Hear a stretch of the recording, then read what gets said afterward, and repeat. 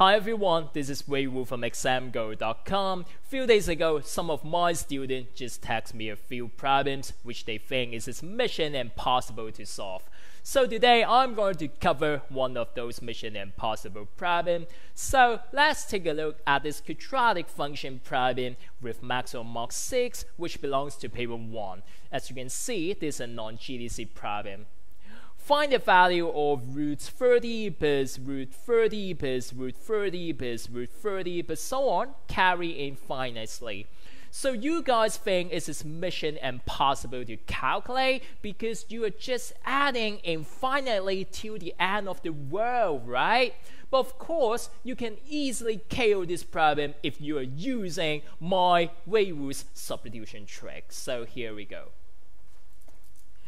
So we begin the substitution trick by letting x equal to the thing that we want to find here.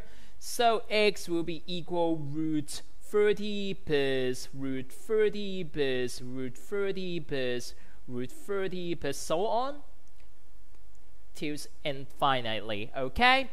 So now you can see the square root outside is pretty annoying, right? So to make that square root disappear, I am going to squaring both sides. So we will have x squared equal root 30 plus root 30 plus root 30 plus root 30 plus so on and then square Okay, so if you get this right, you will be awarded M1 for the evidence of valid approach. So after you have squaring both sides, of course your left hand side will stay as x squared, but for right hand side, the square roots outside will be vanished. Yeah, square root and square canceling each other. So you will have 30 plus root 30 plus root 30 plus root 30 plus so on. So only the thing inside the square root remains, okay? But now you can actually see you got the same thing in common. Really? Yeah. The same thing is actually the second term here. It is the same as x. Why? Because for this term, you are just still adding infinitely, right? And for x, you are also adding infinitely, so which actually means the two terms are actually the same. So that's why I call this substitution trick, because next, they are the same, so you can just substitute the second term for x, okay? Yeah, just replace it by x because they're just the same thing, okay? So if you get this right, you will be awarded M1 for the evidence of valid approach and of course A1 for getting the correct equation right there. So now you want to solve this quadratic equation. Of course, the first thing is to move every term to the left-hand side to make it of the form of ax squared plus bx plus c equals 0. So x squared stay the same on the left, and now x to the left become minus x 30 to the left becomes minus 30.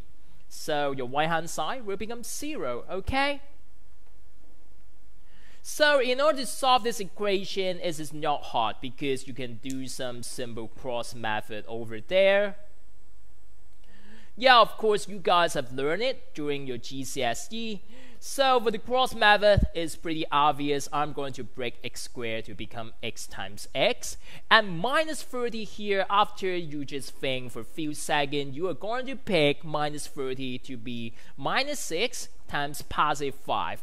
Yeah, because after you have chosen this combination and doing the cross product, minus 6 times x become minus 6x, x times positive 5 becomes plus 5x, and they are just combining for minus x. Yeah, minus 6 plus 5 become minus 1, so minus 1x, and this is just the same as the middle term of this quadratic equation, so which means those factors are actually x minus 6 times x plus 5. So you will have x minus 6 times x plus 5 equal to 0. And of course, if you get this right, you will be awarded M1 for the evidence of solving this quadratic equation. So x minus 6 times x plus 5 equal to 0, that is pretty obvious. x minus 6 equal to 0, or x plus 5 equals 0. So x minus 6 equal to 0, which means x equal to 6 x plus 5 equal to 0, x equal to minus 5, okay?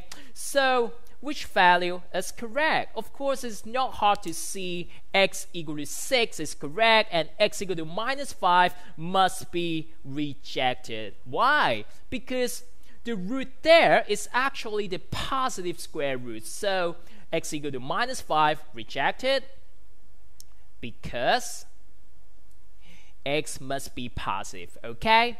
So if you get this right, you will be awarded A1 for getting the final correct value x equal to 6, and of course R1 for stating the correct reason why x equal to minus 5 must be rejected. So that's all for my Raywood substitution trick, and I'm going to see you as the next video.